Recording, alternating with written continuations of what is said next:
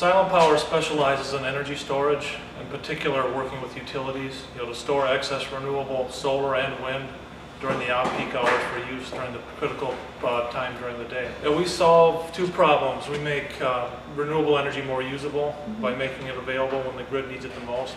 We help utilities manage peak demand by decreasing it in homes and businesses when it's the greatest, for example, during hot days. This is our, our first flagship product, the uh, on-demand energy appliance.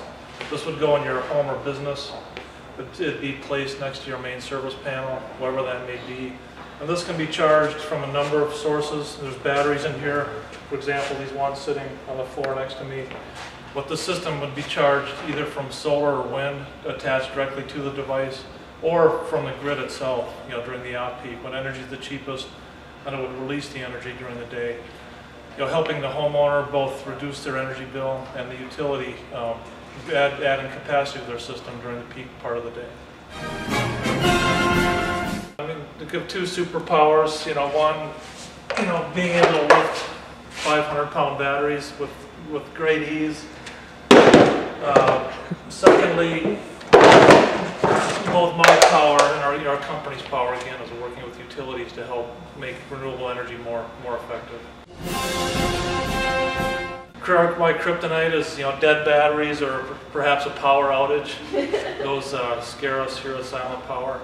But, uh, you know, on a more serious note, we're an early stage company. Raising money or capital, you know, to grow our business in a down economy is certainly a- one form of kryptonite. Yeah, Minnesota is a great place, you know, to grow up, an early stage company. Great mix of, of talent, both on the engineering and sales and marketing side. You know, the state's been very supportive, you know, from, you know, everything from grants, you know, to other incentives, you know, to encourage us to stay in this area. Yeah, just stick with it. I mean, this is in, in the early phases of a very large industry. And, uh, you know, persistence is gonna be the, the greatest attribute for people who succeed.